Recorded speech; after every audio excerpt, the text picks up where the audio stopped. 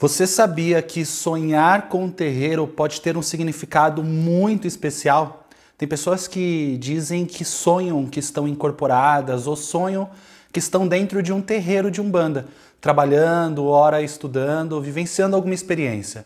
E isso pode ter um grande significado e é exatamente o que eu vou falar no vídeo de hoje. Sou Lan Barbieri, sacerdote do Templo Escola Casa de Lei. Vamos lá!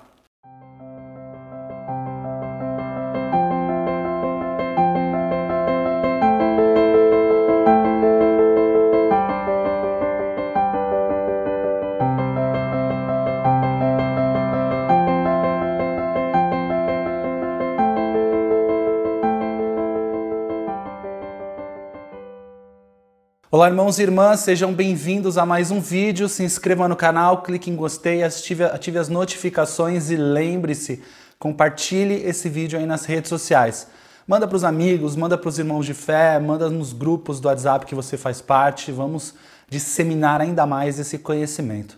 E vale lembrar, na descrição do vídeo tem os links também do meu Instagram e do meu Facebook. Me acompanhe por lá também. E qualquer dúvida sobre minha agenda, livros, conteúdos e coisas que eu disponibilizo na internet, no meu site você tem todas as informações, alanbarbieri.com.br. Pois bem, como disse na introdução, vamos conversar hoje sobre sonhar com o terreiro. Muitas pessoas relatam experiências diversas com o fato de você vivenciar uma situação durante o sono dentro do terreiro de Umbanda. Ora, as pessoas relatam que estão incorporando as entidades e pessoas, às vezes, que nem incorporam ainda necessariamente. Também as pessoas relatam que estão em um terreiro que nunca viram na vida e que estão assistindo uma aula. Pessoas até sonham comigo, sonham que eu estou no terreiro conduzindo uma gira e essa pessoa está lá assistindo essa gira, assistindo esse trabalho. Pois bem, sonhar com o terreiro, qual o significado disso?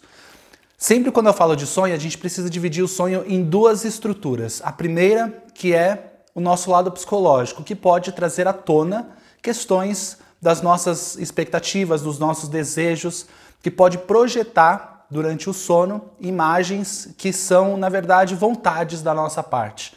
Então, antes de qualquer coisa, o sonho também pode ser criação da nossa mente.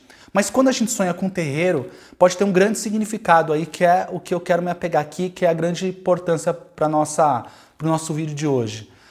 É que o terreiro de Umbanda, ele é o ponto onde a espiritualidade vai ter para te passar uma mensagem. É o local onde você vai se sentir seguro espiritualmente. É o local onde a espiritualidade está presente. Então, sonhar com o terreiro de Umbanda, muitas vezes, é uma mensagem da espiritualidade, seja para você ver algo que vai acontecer, muitas vezes você médium está desenvolvendo a mediunidade você se vê incorporando.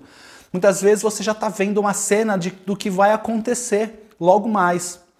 A qualquer momento, aquilo que aconteceu no sonho, que é você incorporado, você trabalhando, já vai acontecer isso. Então, você que é um médium em desenvolvimento, é muito comum sonhar que está incorporado. Também, muitas vezes, é como a espiritualidade encontra para você trabalhar também espiritualmente. Às vezes você faz parte ou não de um terreiro de umbanda, mas a espiritualidade precisa de médiums também no astral para que realize algum trabalho. E às vezes o desdobramento, o momento do seu sono, é o momento que você, seu espírito está à disposição para realizar um trabalho junto à espiritualidade, junto aos teus guias, junto ao seu pai ou mãe de santo, junto aos guias da casa que você faz parte. Então, muitas vezes você é requisitado para realizar um trabalho junto à espiritualidade enquanto você está dormindo.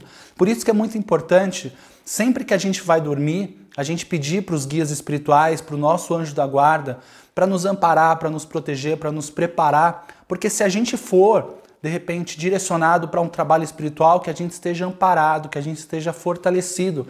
E tudo isso pode acontecer. Sabe que você muitas vezes, quando sonha ou quando tem a impressão de ter sonhado com um trabalho no terreiro, na verdade você trabalhou de fato.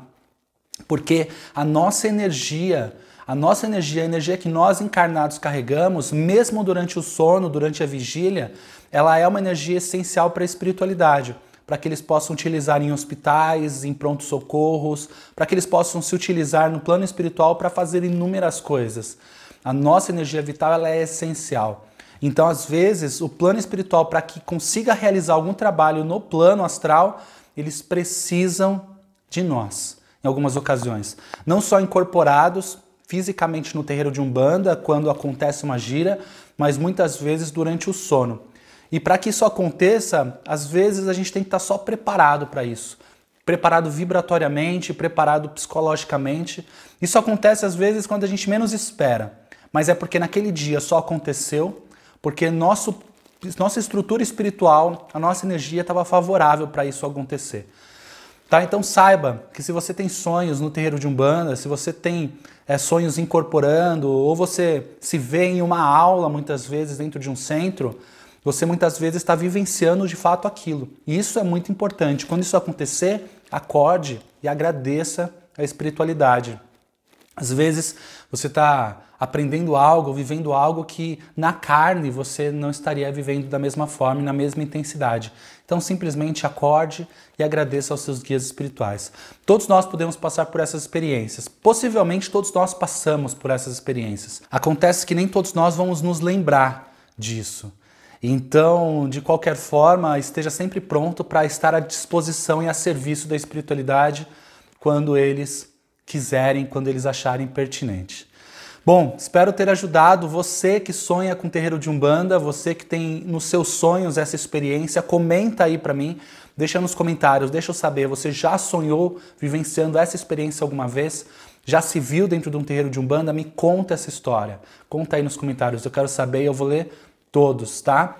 Se inscreva no canal, clique em gostei, ative as notificações e lembre-se, compartilhe esse vídeo aí nas redes sociais. Manda para todo mundo que você conhece. Qualquer dúvida eu estou à disposição. Meu muito obrigado a você e até o nosso próximo estudo. Axé.